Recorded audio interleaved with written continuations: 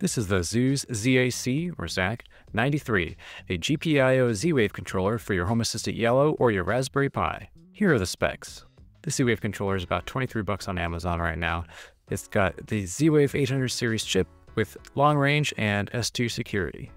So if you'll notice it has GPIO ports there on the bottom of the board, those will plug into the Home Assistant Yellow. So go ahead and take the lid off your Home Assistant Yellow or your Raspberry Pi and make sure you line up the holes on the back of the ZAC 93 with the pins on the Home Assistant Yellow. The Home Assistant Yellow has GPIO pins that match the top 10 headers of a Raspberry Pi. Here's the Raspberry Pi pinout if you need a reference. So take the ZAC 93, turn it over, and put it gently on the pins first to get it squared away, and then push it on with your finger. It might hurt a little bit, but once you can't push down any further, that's how you know it's in. Okay, so now that we've installed the ZAC 93 on our Home Assistant Yellow, let's go ahead and get it configured uh, with the software. So I'm here on my main Home Assistant. Uh, we can go to Settings, and we go to Add-ons. So we click add-ons and we won't have any. So we can go to the add-on store down here. There's a whole bunch here, but what we want to type is Z-Wave JS UI like that. Z-Wave JS UI. Click this community add-on here. Shout out to Frank for making this one. And um, if you want to support more of his work, you can do it over on Patreon. But what we want to do is we want to go up here to install Okay, so after it installs, you'll be greeted with a couple different options here. Startup boot should be enabled. If it's not, make sure you enable it. We always want this to run on startup. There's this watchdog option, which restarts the add-on if it crashes for some reason. I always have this one enabled. This last one is show in the sidebar. When we enable this, it shows an option over here that we can access it with. So make sure all these are enabled and then click start. Okay, so it is running successfully. You can see the add-on CPU and RAM usage here. Generally, you don't need to care about these, so you can ignore both these statistics and the host name. So we can go over here and click on ZWaveJS. Even though it's anonymous, I generally never send data anywhere for any reason as much as possible. So I'm going to click no. If you want to support the project, then you can click OK. It also pops up with this change log box. This will appear after every extension, or I should say every add-on update. You can just click the disable change logs box down here at the bottom and click OK. Okay, and this is the main page of the Z-Wave.js UI add-on. There's nothing here. Uh, we need to configure a few things first. So let's go over to the settings gear and go straight to the Z-Wave tab first. So the first thing we need to do is change the serial port. So the ZAC93 communicates with Home Assistant on a serial port, and uh, serial devices usually default to zero if they're the only ones on the system like mine is. So we can choose AMA0. There are these security keys. These are basically the passwords that our controller, our ZAC93, will use to communicate with other Z-Wave devices. We're just going to click generate and have it automatically create all of these different options.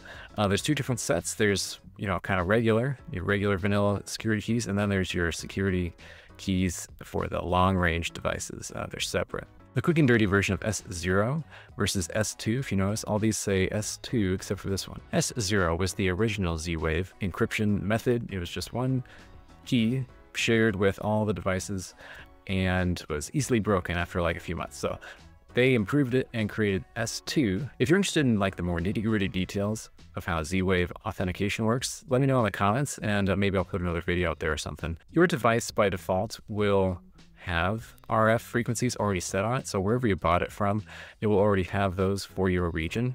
If you needed to specifically set it here, you could, but generally you want to leave this alone. There's different frequencies based on where you are in the world, so pay attention to that. Uh, the rest of this, you can pretty much ignore. Uh, you won't need any of this. We can go ahead and click save. So once you click save, there's one more thing down here at the bottom. Um, if you expand, actually let's close this tab like that.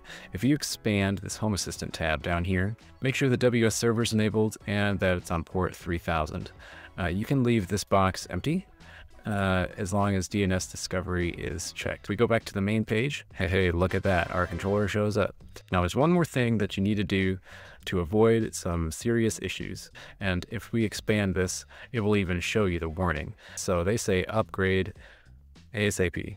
And so that's what we're going to do now. We can expand this drop down and go over here to the advanced. What we want to do is do this firmware update over the wire. We're going to click update and it will give this scary warning that says, we're not responsible if you break it, but that's fine because we know what we're doing. We need to update the firmware via file. There's no like automatic updates for, for controllers for this sort of thing. So to get this firmware, we're going to go to Zooz support site. You can click on Zooz OTA firmware files. We're just going to search for ZAC93 firmware 150 based on 722.1, which is higher than 120 719.3. So we're a little little ways behind. So let's go ahead and get this downloaded. It's just a typical zip file, so we can go ahead and extract it. And inside the zip will be a single file, the ZAC93 blah blah blah dot GBL. We'll click this box.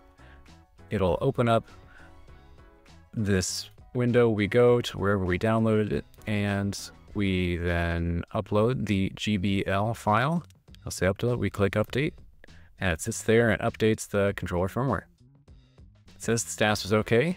All right, so we'll close out of here, and we'll close out of here. We'll check the firmware versions over here, hey, 722.1 and 150. So we successfully updated the firmware on our ZAC93. Let's see what it looks like when we add a device. So if we close this, we can go over here to hamburger menu again and click Manage Nodes. Brings up this Nodes Manager. We can click uh, Inclusion. Now it will automatically assign a name or you can give it a specific name. So this device, for example, is a door and window sensor. Let's say you had a bedroom and you wanted the door sensor on it, maybe to send a signal when your kids try to get out in the middle of the night or if the dog's opening it or something. So, so we can type what we want the name of the device to be. Uh, we'll set guest bedroom uh, door, something like that. This will set the name in both Z-Wave.js and inside Home Assistant.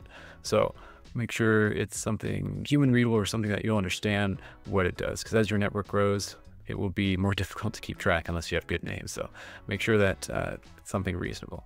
Now, location, you can you can add a location here, but this only gets stored in Z-Wave.js. This doesn't get brought over to Home Assistant like the name does.